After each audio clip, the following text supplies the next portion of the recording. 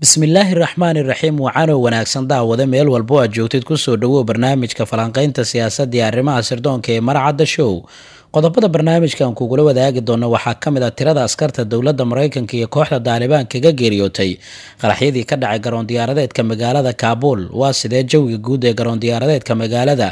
Digniinaha la soo jeedinaya iyo khataraha kale ee weli laga baqayo? Yaa ka dambeeya mas'uuliyadda weerarkaasi khasaaraha oo lixdan ka badanaya daalibaan oo war ka soo saartay iyo qaraxyadaasi oo baajiyey shirkii ay yeelan lahaayeen ra'iisul wasaaraha israa'iil iyo madaxweynaha maraykanka. Qodobadaas iyo macluumaadyo kale ayaan ku eegi doonaa barnaamijka ku soo dhowow falanqaynta siyaasadda iyo arrimaha sirdoonka.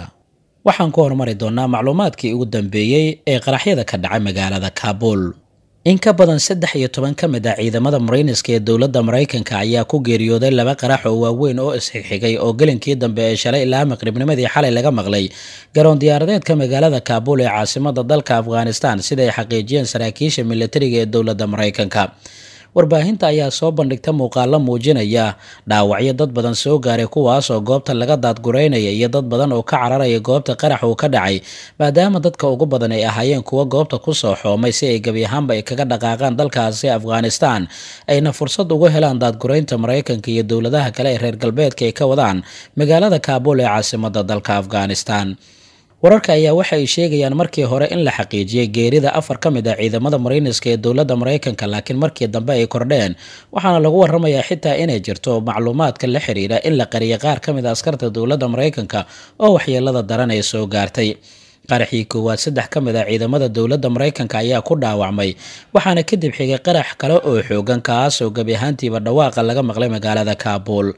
afhayeenka waaxda gaashaandhigga ee dowladda maraykanka ee bentaconka john kirby ayaa waxauu warbaahinta u xaqiijiyay dhimashada dhowr ka mid a askarta ciidamada dowladda maraykanka laakiin waxauu ka gaabsaday macluumaadyo kale inuu bixiyo waxa uu sheegay khasaarahaasi inuu soo gaaray qaar ka mid a ciidamadooda oo ku sugnaa albaabka hore ee garoon diyaaradeedka laga waardiyeeyo sida lagu sheegay macluumaadka. Wararkii ugu dambeeyey ee soo baxaya maanta ayaa waxay sheegayaan in in ka badan lixdan ruux ay dhimashada ay gaadhay. Kadib markii ay sii kordheen khasaaraha dadka u geeriyooday dhaawacyadii soo gaaray iyadoo dhaawacyadana lagu waramayo inay gaareen ilaa iyo boqol iyo konton kale mas'uuliyiin ka tirsan kooxda daalibaan ayaa sidoo kale sheegay in qaar ka mid ah ilaalada ciidamada daalibaan ee ku sugnaa bannaanka garoon diyaaradeedkaasi waxyeelo kala duwan ee soo gaartay.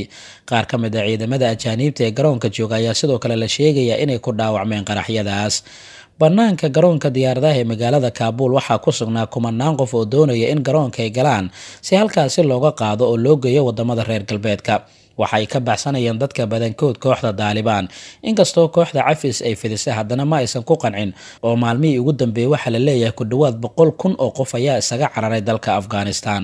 weerarka ayaa sidoo kale loo badinaya inay fulisay koox ka tirsan daacish oo ka dagaalanta dalka afghanistan kuwaasoo lala xiriirinayo in dagaal uu kala dhexeeyo daalibaan saraakiisha maraykanka iyo gaashaanbuurta naata ayaa dhowr saacadood ka hor. Waxay soo jeediyeen inay heleen macluumaad dhanka sirdoonka oo sheegaya in qaraxyo ismiidaamina la doonayo in lala beegsado garoon diyaaradeedka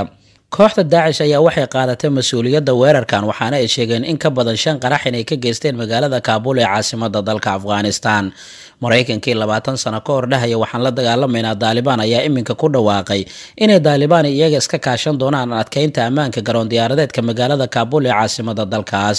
Madaxweynaha dalka maraykanka joe biden waxa uu ka hadlay qaraxyadii ugu dambeeyey ee ka dhacay magaalada kaabuul waxaana uu sheegay khasaare inuu ka soo gaaray dadka rayidka ah qaraxyada ayaa waxay ku soo beegmayaan iyadoo maalintii shalay duulimaadyada caalamiga loo ogolaaday garoon diyaaradeedka magaalada kandahaar taasi oo keeni karaysa ugu yaraan inay tahay fursad kale oo ay dadka ajaaniibta kaga dhoofi karaan gudaha dalkaasi afghanistan.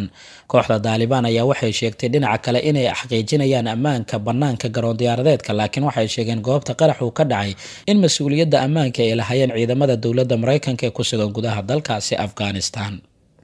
dhinaca kale afhayeen u hadlay kooxda daalibaan ayaa waxa uu sheegay inay aada u cambaareynayaan qaraxyadii mataanaha ee ka dhacay bannaanka garoon diyaaradeedka kaabuul waxa uu sheegay goobta ay wax ka dhaceen inay tahay meel ay maamulaan militariga maraykanka. Xukunka islaamiga wuxuu si adag u cambaareynaya qaraxyada lagu bartilmaameysada dadka shacabka ee ku sugnaa garoonka diyaaradaha ee kaabuul sidaasi waxaa bartiisa twitterka ku soo qoray sabiixullaahi mujaahid oo afhayeen u hadlay kooxda daalibaan suheyl shaahiin ayaa sidoo kale waxa uu ka mid yahay afhayeenada kooxda daalibaan dhankiisa waxa uu sheegay kooxda inay si dhow ula socoto amniga iyo difaaca rayidkeeda. Waxaana uu hadalkaasi uu ku sheegay qoraal uu soo dhigay bartiisa twitterka. Maraykanka waxay xaqiijinayaan in ciidan badan iyo dad rayidaba ay waxyeello ka soo gaartay qaraxyadii shalay. Waxaa laga baqanayaa in howlgallada la doonayo in dadka lagu daadgurayo oo hakad uu ku yimaado qaar ka mid a dalalka muwaadiniintooda ka daadguraynaya afghanistan ayaa ku dhawaaqay inay hakiyeen howsha kadib markii qaraxyada ay ka dhaceen maalintii shalay. Waxaa ka mid a dowladda norway oo sheegtay in hadda ay xiran yihiin albaabada garoonka diyaaradaha. Suurtagalna aysan ahayn muwaadiniintooda in la soo daadgureeyo wasaaradda arrimaha dibadda ee dowladda norway ayaa warkaani soo saartay saacado un kadib markii qarax uu dhacay. Ha yeeshee dowladda britain ayaa ku adkeysanaysa inay sii wadi doonto dadaalka dadka ay kaga daadgureynayso gudaha dalkaasi gaar ahaan muwaadiniinta reer britain. Ra'iisul wasaare boris johnson wuxuu xaqiijiyey in howlgalka uusan istaagi doonin islamarkaana gebi ahaanba aysan hakin doonin howlgalladooda qaraxyadii dhacay. Qaramada midoobay waxay ka hadashay qaraxyada oo waxay ku tilmaamtay inay yihiin weeraro argagixiso ah xogayaha guud ee qaramada midoobey antonio guteres ayaa cambaareeyay weerarkan oo uu sheegay inuu ahaa mid argagixisa oo dad shacab ahaa lagu weeraray. Macluumaadyada ugu dambeeya ee soo baxaya waxay sheegayaan qaraxa labaad inuu ahaa midka khasaaraha ugu badan geystay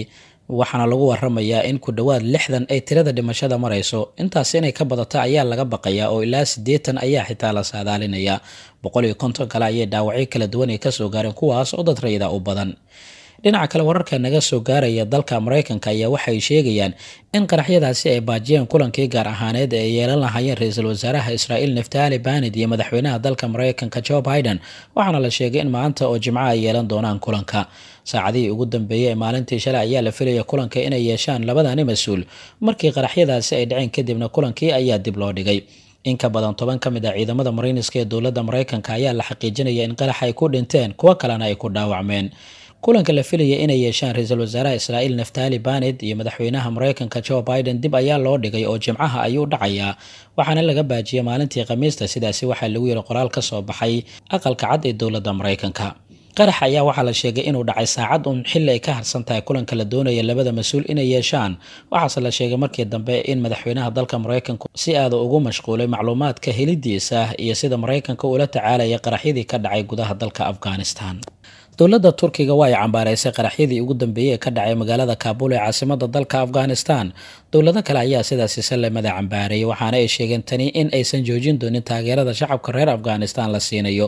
Shacabkii ugu badnaa oo reer afghanistan ayaa dalkaasi ka baxsanaya iyaga oo doonaya in waddamada reer galbeedka ay gaaraan waxaana ay ka baqanayaan gacanta daalibaan inay gaarto. Daalibaan cafis ayay fidisay jawiga guud waa isbedelayaa digniino iyo khataro dhanka ammaanka ayaa weli jira oo waxaa la leeyahay qaraxyo kale ayaa suuragal ah inay ka dhacaan saacadaha soo socda garoon diyaaradeedka magaalada kaabul digniintii ugu badneyd ayaa shalay oo khamiiseed loo jeedinaya dadka garoonka ku soo xoomay waxaana weli digniin loo jeedinayaa muwaadiniinta ameerikaanka iyo sidoo kale kuwa reer britain. Kadib markii sirdoonadooda ay sheegeen inay heleen macluumaadyo ah in weeraray ay dhacaan. Koox la sheegay inay ka tirsan tahay daacish oo ka tirsan gobolka lagu magacaabo khuraasaan oo dalkaasi afghanistan ayaa loo badinaya inay ka dambeeyeen weerarkii shalay dhacay. Waxyaabaha ka soo kordha xogeheena dambe ayaan ku ogaan doonaa insha allah. Macluumaadkan kan xiga intaan ku kulmi